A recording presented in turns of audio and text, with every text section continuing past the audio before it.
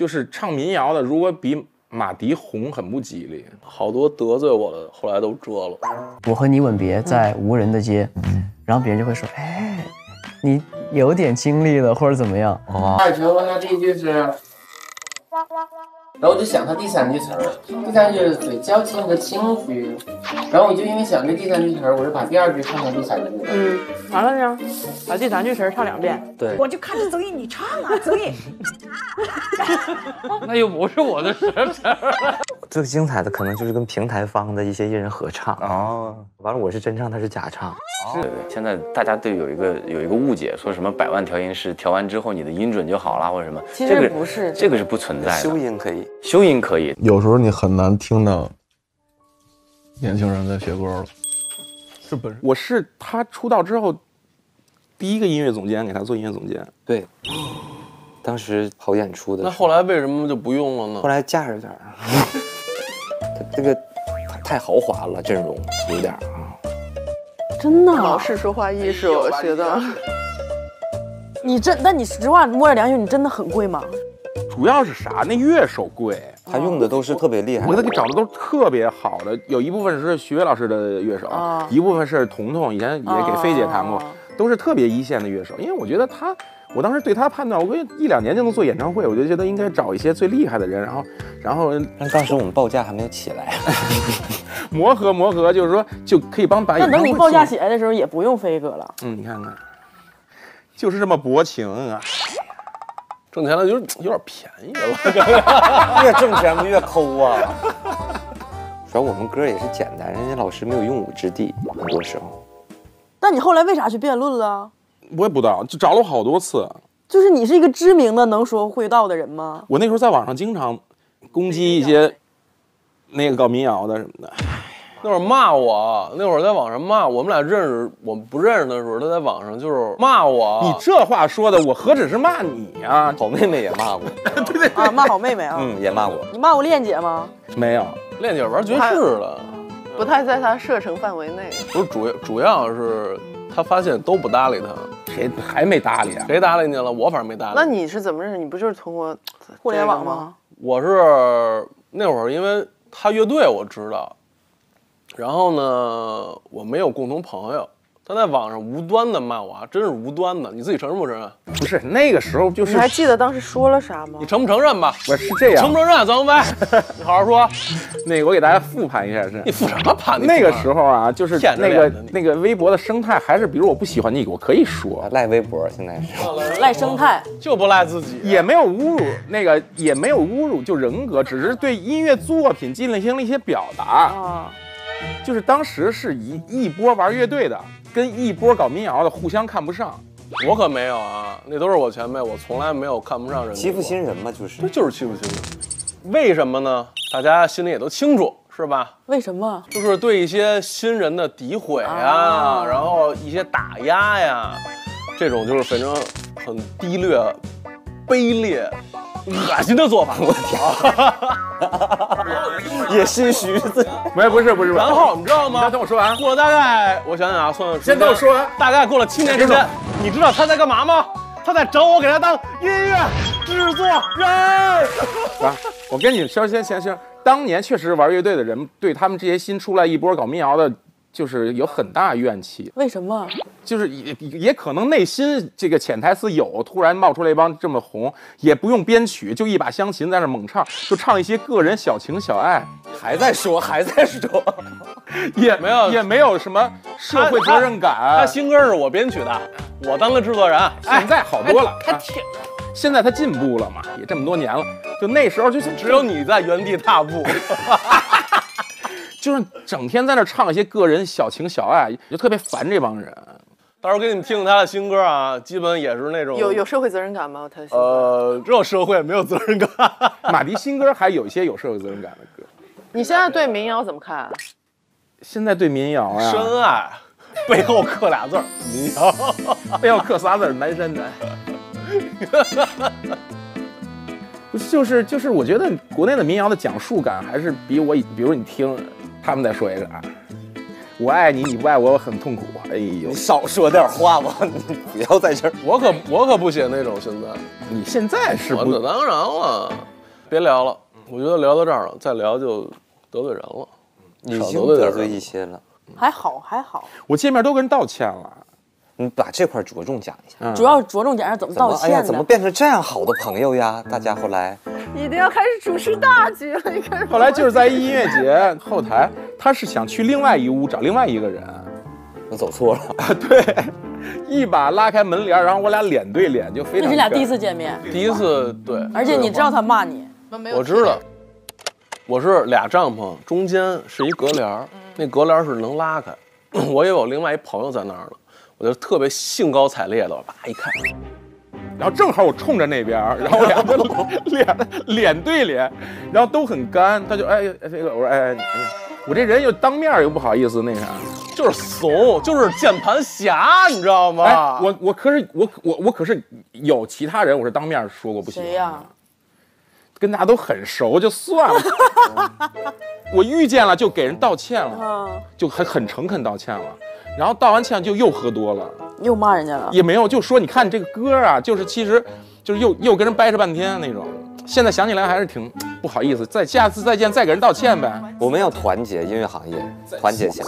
但确实当时年当时那那波民谣确实没有什么就就对社会的描写都没没没太有。二十出头，你不能要求一个年轻人有这么大的责任感，他刚步入社会，对吧？但是你也也会想怎么用东西堵他们的嘴，就是你把东西做得再好一点。你看看人家这胸怀，结果也没成功。一听到哇哇哭，喝多了给我给我发微信说你那首歌真的是这个时代的挽歌啊！我的妈！你没哇哇哭啊，我只是表扬你那首歌很好。他这这人怎你怎么不去写剧本啊？真是夸张，整天哎我告诉你，我从来没有夸张，我敢三个指头对天，我说的没有一句差的。你敢吗？我我你敢吗？张飞，我不是跟你傻了，你看他，我是有一次采访推荐他那首歌，我我是说他那首歌是没有没有，我有我有微信证明，有一天半夜十一点多十二点，突然给我发一条微信，说你这首歌就是时代的挽歌，但是没哭吧？我没他没没看到你哭，啊，文字啊，你你脑补我哭了。我感觉他一边流着泪。我跟你们说一个民谣界的事儿，你没有发现吗？就是唱民谣的，如果比马迪红，很不吉利。就是咱们现在以这个马迪为一个计量单位啊，就就是说，比如比如说比如说马马迪的这个知名度、粉丝量为一迪吧，一迪 一迪超过超过一点二迪就开始危险。到一点五迪，到一点五迪，吸引好几个了啊！你想想吧，谁呀？我咋不知道呢？挺多的。不是，就是有人得罪我，这是一玄学，好多得罪我的后来都遮了。也也有没得罪的呀，嗯，也有就是像他这种，就是像悬崖勒马，后来跟我重修于好。他如果一直跟我僵持，可能你也完了。早早看透了这个规律。不是不是，你你你想想吓人不吓人啊？反正我觉得胖民谣不能比马丽红太多，就是不是你你想这是不是有点道理了？毫无道理。为这是我的老不尊我的一种观察。怎么观察什么呀你？你连自己都观察不了，你观察鱼去吧你。你俩一人说一个对方对自己好的三件事儿，说一个三件事，然后对不对？一一一一一人说三件对方对你好的事儿。太多了吧？你说他怎么对你好？我说三个有点太多啊了。，那你说一个吧，说一下飞哥，你觉得飞哥最让你感动的一件事情？我感动的一件事情，教你学文化，做个人，教你做音乐。我回去把牡丹给你删了，你信你好好说。那你现在这个已经做完了，对吗？嗯，我前天刚录完，全部录完，全部录完。你会参与的非常非常细吗？嗯，其实很细，就是我在那儿待了一个半月，每天都去。哦，嗯，然后录音师，然后包括一写歌的人都是全在一起，一个半月就高强度在那儿。哦你这一个半月集中弄的，嗯，有好多他们是是这种的，嗯，就是很多音乐人，然后大家互相碰撞，哦，嗯，还是这样的，那种很那种会很很有意思，我也感觉很有意思，大家每天都在一起聊，每天都在一起，有点像你们就是做研就研究剧本嘛。对对对对。但我以前不这样，以前那，你以前咋写？我我不太习惯于这种，很多人是吧？因为我我有点羞涩，羞于把自己未完成的作品给或者大家听。是我说哎，想法有一个想想法或者是怎么这种，我还不太能够走出那个。刚去的时候，我觉得特别尴尬，就是你要拿着话筒在那儿唱嘛，然后又没有词，就得哼哼，我就会很尴尬。但到后面熟了之后，也就还行了。慢慢就是，嗯，我写词我也回家写，写完我打好一个底，我拿过去，不然在那儿写就一句一句的往出蹦，是不是有点尴尬呀？第一次我跟你说，第一次唱歌词给别人听的时候是非常尴尬的。对，是我我知道，我甚至就是第一次教完整版歌词，我都是非常尴尬的。嗯，就是你得反复修改之后，对对对才行。或者是会经常有人问我，比如鹏飞经常就说：“那你现在有没有两句？你给我两句。”我说：“那我给不了，那我不行。我最近遇到一个特别尴尬，就是我每次写一个歌词，类似比如说我写一个什么情情爱爱，比如说写一个呃，我和你吻别在无人的街，然后别人就会说，哎，你有点经历了或者怎么样。哦但但其实跟有些东西跟我没有关系。他会去探究你为什么会说写出这样的词。对，尤其是比方说，如果你写一个歌词，我明确知道是你指的是哪段感情经历，嗯我看的时候就表情会很奇怪，啊，完了你就会感觉你还不如跟陌生人唱这个。对，不一定是我经历的，可能是我嗯，看到别人之后的感受嘛。就为啥也是找好多人一起写，就是有点有点枯竭了，就是没有什么写的东西了。然后我就问他们，我说你们有什么故事啊，什么什么的。嗯就最近写了好多别人的故事。嗯，这个其实挺重要的，对就听别人讲，对，大家都是从写自己，然后到写嗯，看到的世界的。嗯，写感受到的。那你这次就是什么主题呢？你你给他就是，我叫客厅狂欢，咦，那不就是我们吗？就是现在不是很多有些时候大家出不了门嘛。嗯，也有不爱出门的，对嗯，我 比如就这种客厅狂欢型对，种子选手。我是爱出门的，所以我就没哦出不了，只能客厅狂欢。就是有时候就是精神出逃啊，或者就是精神去到哪儿玩啊，或者是一些思想世界的东西。你从容了很多。就这首歌是我会稍微主打，但是我是会拿它保底，因为不是跟我上张专辑其实有点、哦有点像的风格，就我感觉不会出错，然后我就把这张拍个好看点 MV 当主打，但是后面就开始做有些飞的，就还 OK 嘛，就是。这个 MV 的女孩，你们互动的还挺挺 挺挺挺，挺，就是符合剧情的。好的。但这个我上一张 MV 也是也是找这个我们嗯，那上一张没，我感觉我就一边一边吃，你先说一会儿，整的有点太，讲的我有点太太哎，你是上一张好像还是啊，稍微保持了一定的那是跟剧情有关系吗？啊，不是说最近就是也是长大了，嗯，好吧，放开了一些，我也不知道放开了，我都不敢提放开了放开了。我就替观众问嘛。是就是嗯是第二次合作肯定熟一些嘛，然后但是也是一个剧情的延续性，是，剧情是需要的。剧情需要，剧情需要，剧情需要，剧情需要。而且你的歌名都很，就是我觉得你的歌名就是它是个句子的那种感觉，一个一个比较长的那种，我觉得这很非常有勇气的人能敢起，是吗？因为他容易记不住。对，而且你就是人家问你，那今天我们唱哪首歌啊？唱了一首，奔向时间尽头的流萤，就是很长。那我觉得可能是年轻的创作者们喜欢敢用这样的。我就很喜欢。我比如说，我要是看到一首看到一首歌，比如这首歌的名字要叫做《我今天去面包店买了一杯咖啡》，我就很想听一听这歌讲的。哦，啊，可以这种对我来说，，就像这种长长的，听这首歌，我觉得就这相对就比较意识流。嗯，但我是比较老派，我就感觉那名吧，一定要是，它就是概括性的嘛。嗯，我是怎么想？我是把它分成，就是一个是讲事情的，一个是讲氛围的。讲氛围，我的名字就特别短。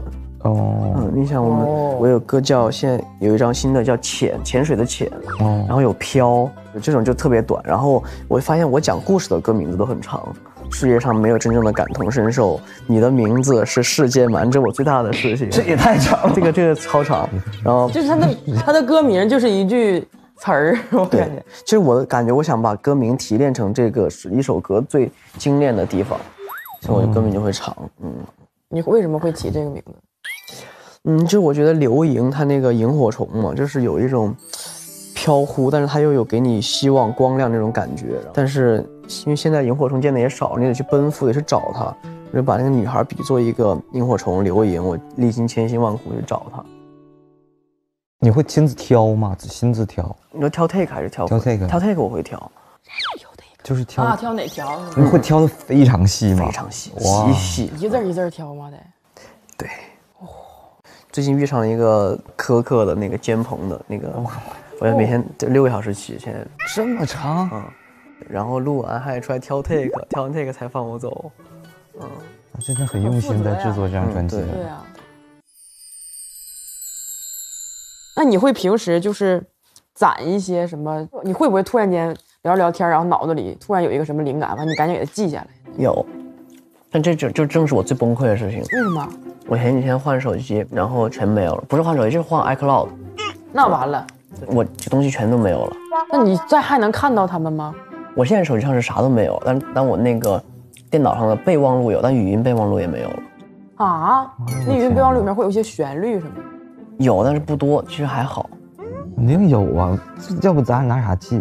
对呀，你像我们拿个备忘录自记字儿就行了嘛。嗯，你们还得有旋律啊。那啥样都有，有的时候哎，这会儿想起来我就哼哼一个，啊，哼哼一个回去完全找不着是啥了。当时我咋想的？这是啥呀？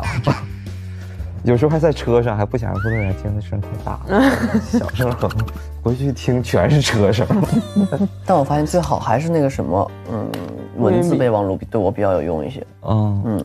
就记啥呢？记一些想法。嗯，哎，我有的时候文字我嫌打字太费劲了，你就语音用语音讲出来。哎，我今天有一个啥想法啊？怎么怎么怎么？后来也都忘，讲不起来。以为能用上，其实后边也用不上。然后最后是，比如说哪个事儿憋的实在想不出来，我再翻一遍。对，再从垃圾堆里面找点剩的。往一块拼。别给那创作过程说的这么，我们就是。后来我发现能用的少。还是在也有能用的少，然后现写的时候那些能用的多。哥，你又忘词了？对，咋回事啊？前两天那个一个毕业晚会，完了又忘词了。哪个歌忘的？大雨全都落下。大雨咋还能忘呢？大雨全都落下，第一句是。最复杂的，复杂的自己，最失控的回忆。嗯。然后我就想他第三句词儿，第三句是最矫情的情绪，然后我就因为想这第三句词儿，我就把第二句唱成第三句。嗯，完了呢，把第三句词儿唱两遍。对，大家就发现了。嗯，但其实我自己唱的第二句的时候，我唱错了，我自己就已经在笑了。我说完了，到时候大家又得说我。嗯。哪个歌最容易忘词儿啊？寻宝藏。你就干脆以后这歌就这么唱吧。但是我下回我就想说，我也不能老这么唱啊。嗯，正常排练时候，我第一句、第二句词儿完全不记得了，我就只记第三句。寻宝藏。对，上来就开学。对。你忘词儿吗？也忘。你忘哪句词儿啊？好多都忘啊，因为有的时候我以为自己能记住，那忽然懵住了。对。那你忘词儿咋整啊？你也是多重这一遍一句唱三遍呢？我就是卡住了，我还编不出来词儿。有段时间很长时间没有唱借了，嗯，但是借什么借什么，我就有点记不住了。后来借啥呀？借，我就开始一下就卡住了。借借不借呢？嗯，完后来能想起来。那你还行，还能想起来呢，那也可以。还是说唱那边记词记得太厉害了。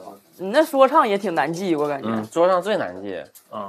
而且说唱不重复，不像咱们还能重复，咬字还得清又快。对，他们翻提词器能翻过来吗？如果说唱，谁知道呢？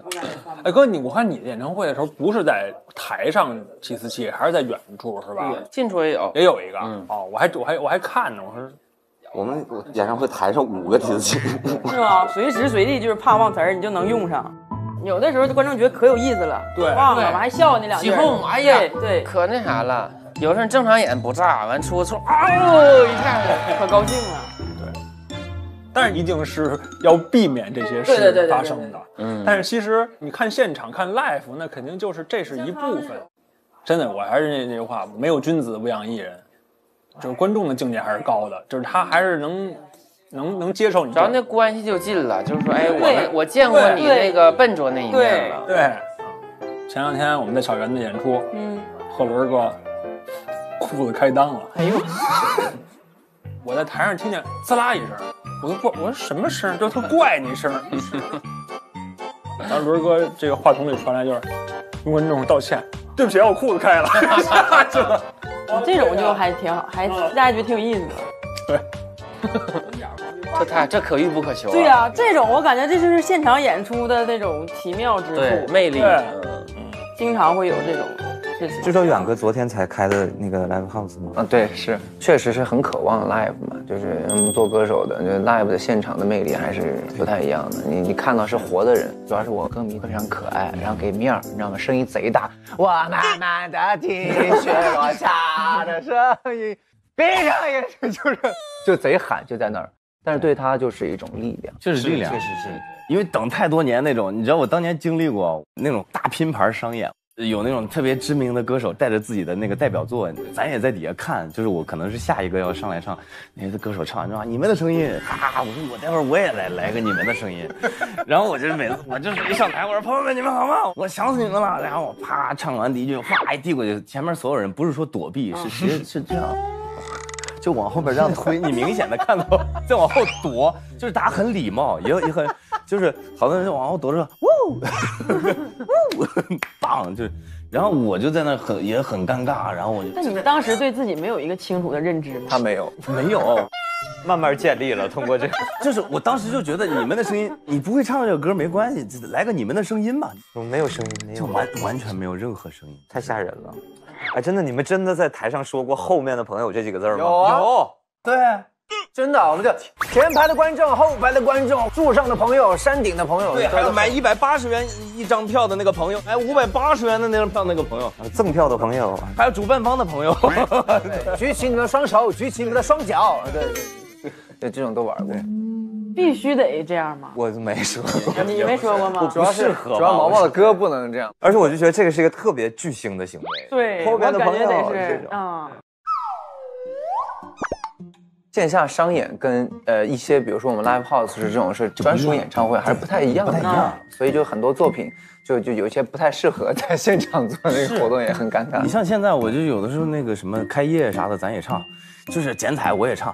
但是呢，人家一来，人家翻翻你的歌单，一看雪落下的声音，我们开业就凉了，也不太好。所以我现在我我每次我都说，剪彩专门写了一批歌吗？也也没用，但是我就想了一个小小套路，比如说唱完雪落下的声音之后，我说大家今天现场，我说我的歌迷朋友们，主办方给帮主办方的朋友们，咱叫个啥？叫个发财，好不好？如感到快乐，你就拍拍手，发财。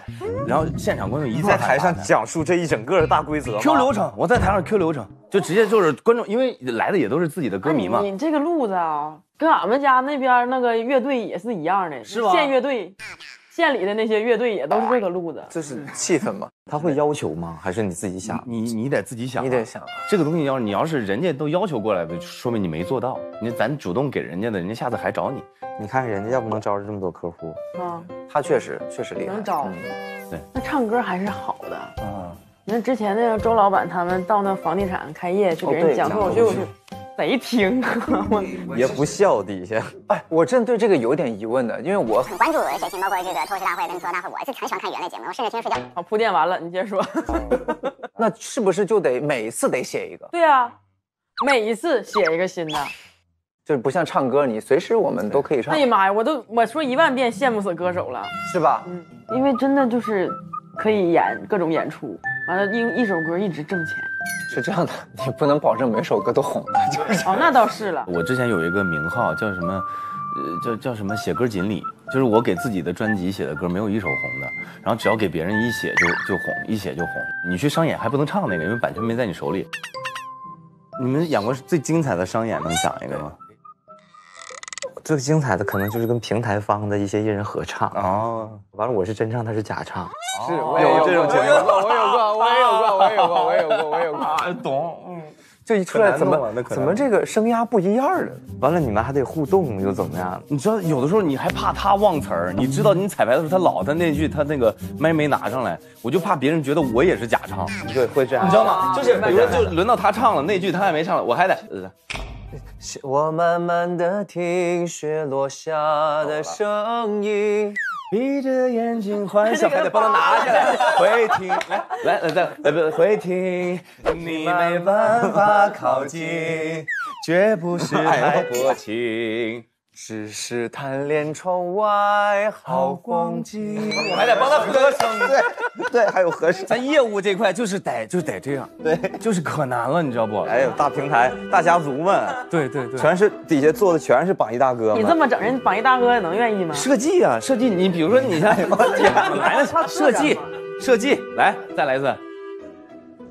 轻轻落在我掌心。这样，那榜一大哥会打你。明明在掌中，我也忘唱了，反正就有点难。有一站是兄弟们给我准备了个惊喜，兄弟们给我买了一个话筒，那个话筒毛毛知道能，嗯，非常好的话筒。那个话筒其实是一个很昂贵的东西，我我给自己的一个期许就是，等有一天我能开带座儿的演唱会的时候，我给自己做一个。然后兄弟们就觉得说虎子过生日了，就是而且觉得我开巡演了，他们想给予我一些什么。除了每个人都他们都过过来给我当那个嘉宾之外，说要不咱们做点啥？然后月薪就牵头说生日场给我做了一个绿色的我的应援色的话筒。然后还把他们渐变的每个人的颜色围着我的那个 logo 围了一圈哦，非常好看。然后他就说虎子，因为你说过一句话，就是假如说是你的改变，你性格上的改变的话，我们希望永远我们都在你身边，嗯在你周围。你那个也昂贵吗？昂贵啊，这玩意儿好的都可贵，我以前不知道它那么贵。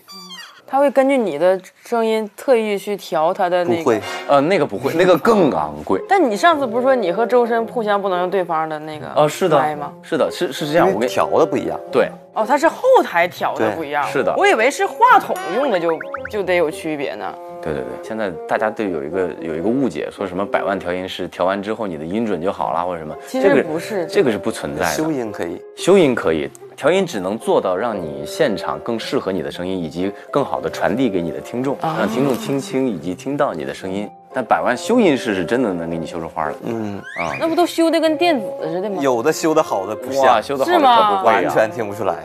真的吗？修的好的可吓人了啊！我咱们有没有这种朋友？下次能不能请来给咱修一个？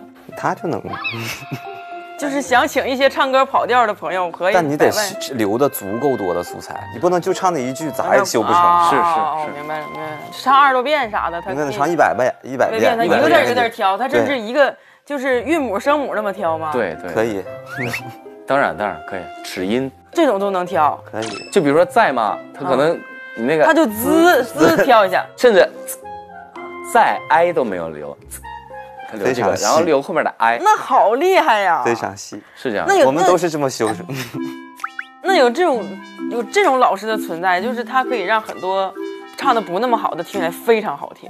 对呀、呃，可以，就你也就要花点时间。这种就一般都专辑啊，录音专辑对，可以会这么样。是，一点一点精挑，就很细其实致。包括很多是不是唱的好的，他也也精挑。对，但有的人不喜欢挑。对，有些人可能就是，比如我合作的歌手吧，他分两派歌手，就是有有一派叫准确派，准确派就是他我我希望我的表达每一次都挑到最准确的那个最准确的。嗯但还有一派是情绪派，嗯，他说哎最好的。对，有一些唱的很厉害的歌手，他可能情绪激动的时候，这块有一点点左，嗯他说你不要给我修太准哦，有这样的，也有这样的。哇哦哎，你忘词吗？呃，我忘过一几回，他就那个他一通常都有提词器，然后有的时候他就干扰你，你知道吗？明明就是你不看也能记得住对，他就来回倒你，明明会会唱，但是他一跳以后你就啊就一下找不着了是哪儿了，你就怀疑自己。就是那提词器有还不如没有，有的时候。好几次我都差点找个地方钻进去。这问题还会影响我，你知道吗？那你怎么办呢？他在他在旁边，你唱啊！我他不说这句话，我还能唱下去。一说唱，唱来的呢？现在很多节目它是要你学新歌，因为那新歌你可能不是特别的熟悉，不要说是新歌，就是这些老歌有也有偶尔也会去忘词的。有的时候你就是想不起来第一句唱是是什么词儿了。对，就前俩字儿。对，就嘎到那儿，就是。对，就我从草原来，我就犯过这么一次毛病。而且我从草原来甚至都会吗？对，就突然间就觉得啊，我立马千山外，听风唱着天籁。我什么来？他看的就是那个嘛。我是我就看着曾毅，你唱啊，曾毅。那又不是我的事儿。那你记得对不对，哥？啊，你记得？平时其实他在唱的时候，我也在哼着唱，啊，心里面也是我看。你们立马接过来了，就。嗯，太 那弹幕写人可算找着机会了。哎之前在网友们就是这么调侃说曾毅哥词儿少的时候，你们之前有过这个讨论吗？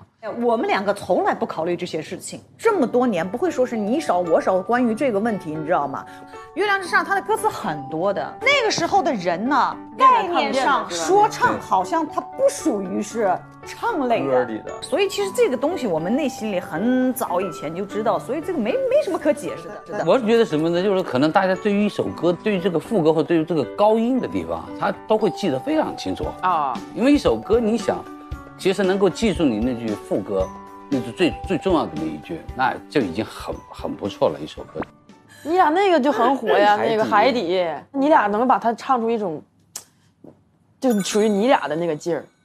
那首歌其实就是波折多，所以就内心里走的感情也比较多吧。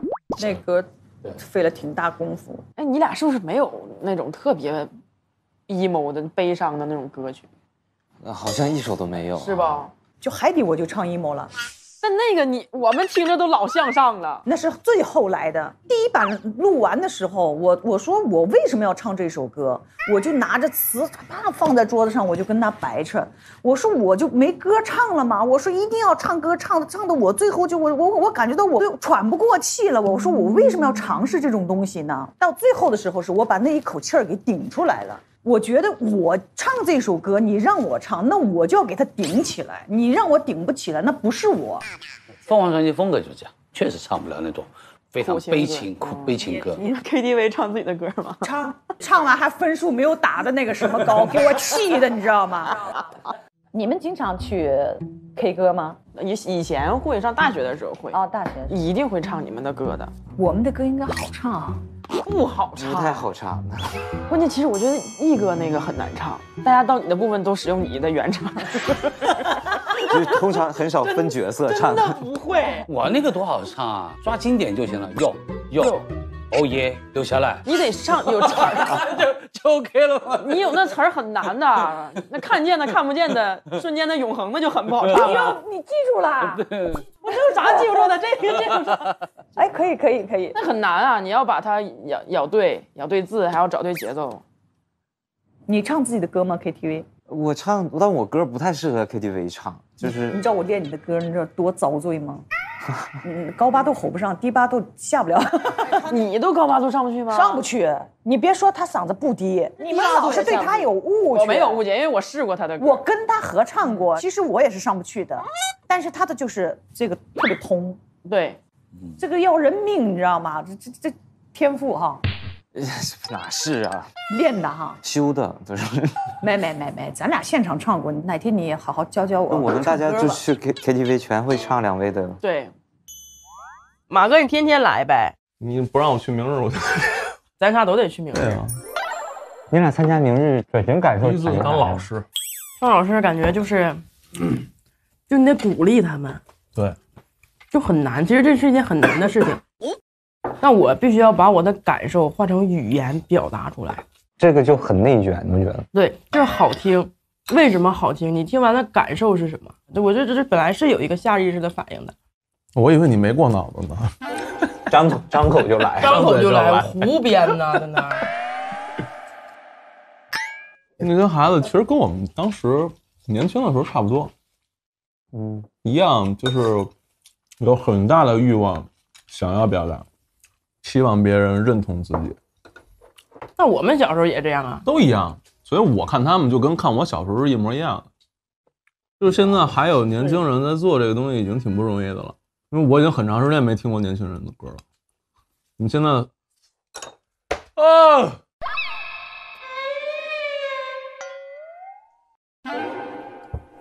怎么了？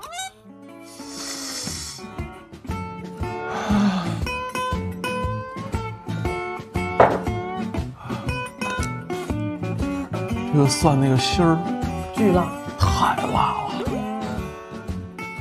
我以为你刚才激动了呢，我以为你刚才说到年轻人，我已经很久没有听到年轻人的歌了，完突然间就这样了，泪流满面。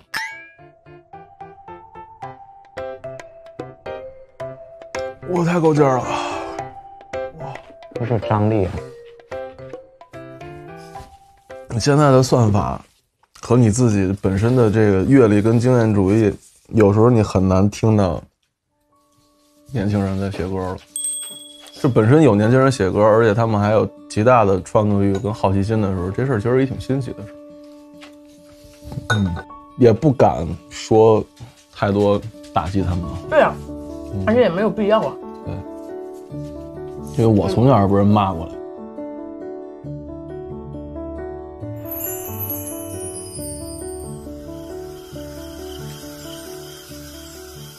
你真的在明日有的时候有点凶，你知道吗？我知道，老吓人了。但因为他很容易看起来就很凶。我已经通过这个节目，我在改变自己。就是有时候说的方式，我真的全是批评啊我说。